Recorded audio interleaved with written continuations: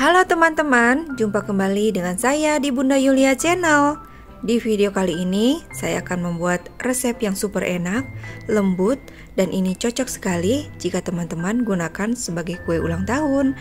Sangat simpel sekali bahan-bahannya. Di sini saya sudah menyiapkan dark choco. Jenis dark choconya boleh bebas ya teman-teman. Kemudian saya sudah menyiapkan 4 bungkus coklatos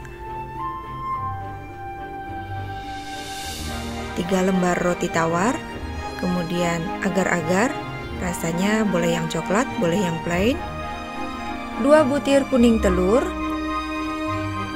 kemudian sejumput garam sebagai perasa, penambah rasa, dan 60 gram gula pasir atau sesuai selera, kemudian choco chips, dan bubuk coklat. Kemudian airnya sebanyak 750 ml. Bahan-bahannya sudah kita siapkan, lalu kita langsung saja membuatnya. Masukkan dark choco. Kemudian roti tawar kita masukkan. Kita sobek-sobek terlebih dahulu ya, teman-teman.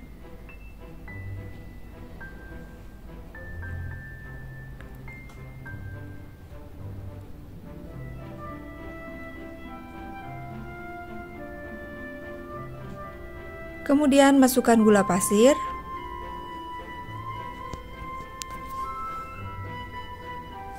Lalu ini saya gunakan coklatos. Untuk coklatos ini teman-teman bisa menggunakan jenis coklat apa saja. Misalkan ada beng-beng atau Milo. Tapi untuk coklatos ini rasa coklatnya memang lebih terasa ya teman-teman. Jadi saya memilih coklatos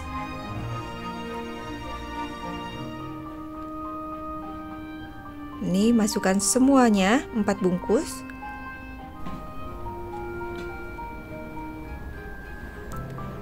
Lalu masukkan garam. Garam ini sebagai penambah rasa gurih. Lalu kemudian masukkan bubuk agar-agar dan air kita masukkan juga.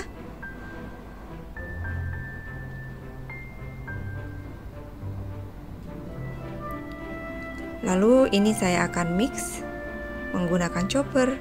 Teman-teman bisa menggunakan apa saja untuk mencampurnya. Dan ini sudah selesai, lalu saya akan memasaknya dengan api sedang cenderung kecil.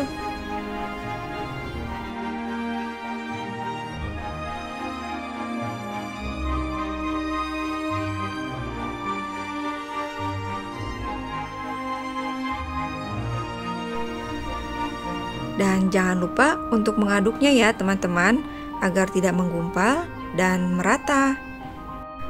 Lalu setelah adonan agak panas, masukkan satu sendok atau dua sendok ke dalam mangkok yang berisi telur tadi. Lalu aduk-aduk sampai tercampur rata.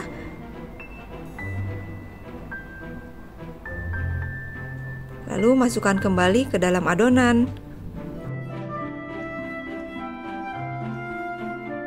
Kemudian lanjut memasak sampai betul-betul mendidih atau meletup-letup. Ingat apinya dengan api kecil dan terus mengaduknya. Dan jika sudah mendidih, lalu siapkan tempat, lalu masukkan dan setelah dimasukkan, biarkan selama kurang lebih 3 jam. Boleh disimpan di suhu ruangan atau masukkan ke dalam kulkas. Nah, ini sudah set seperti ini. Lalu siap disajikan. Ini sudah saya siapkan seperti ini. Langkah selanjutnya, taburkan bubuk coklat di atasnya.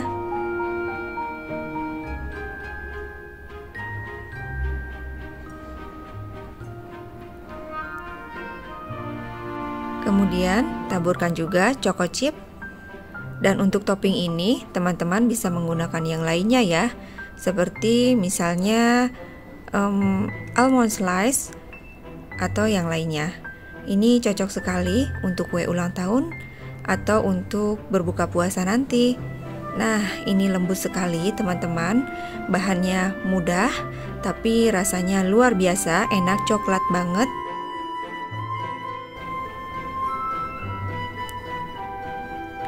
Teman-teman bisa mencobanya di rumah. Ini sangat mudah sekali. Kita coba yuk. Nah, ini terlihat lembut sekali teman-teman dan rasanya coklat banget. Terima kasih sudah menonton sampai habis. Jangan lupa untuk like, komen, share, dan subscribe ya. Sampai jumpa di video selanjutnya. Assalamualaikum.